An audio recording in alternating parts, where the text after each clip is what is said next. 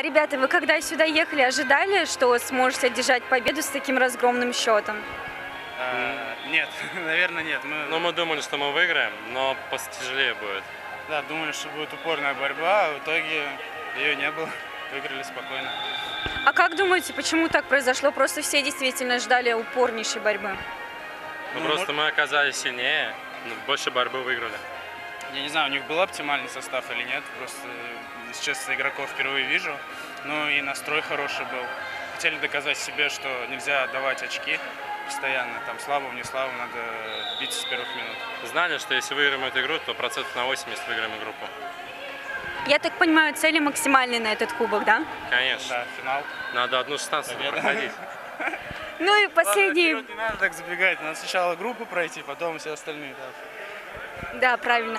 Ну и последний вопрос. А, Вы еще не устали от футбольных фотографий Лены? Да нет. Нет. Давно их не было. А, Я вот в Инстаграм долго не мог выложить фотку, хотя столько фоток сделано.